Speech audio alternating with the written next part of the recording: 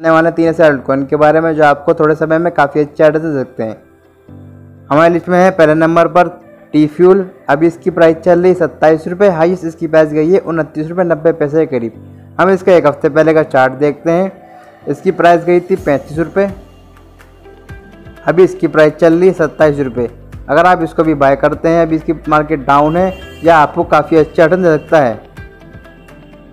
हमारे second coin का नाम है जेलिका कॉइन अभी इसकी प्राइस चल रही है छः छः रुपये दस पैसे करीब। छः रुपये अड़तालीस पैसे इसकी हाईएस्ट प्राइस गई है। हम इसका एक हफ़्ते पहले का चार्ट देखते हैं। छः रुपये नाइन्टी थ्री पैसे इसका हाईएस्ट प्राइस गया है। अब इसकी प्राइस चल रही है छः रुपये दस पैसे। अगर आप इसको अभी बाय करते हैं, इसमें भी आप अच्छा खासा प्रॉफिट कमा सकते हैं।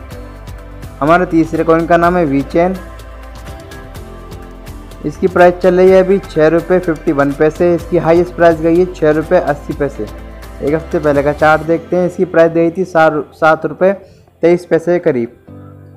अब इसकी प्राइस चल रही है छः रुपये फिफ्टी वन पैसे, जब मैं ये वीडियो शूट कर रहा हूँ।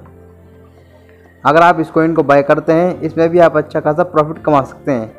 अगर आपको हमारी वीडियो ज़रा सी भी इन्फॉर्मेटिव लगी है तो वीडियो को लाइक करें, अपने दोस्तों के साथ शेयर करें चैनल पर नए हैं तो चैनल को सब्सक्राइब करें।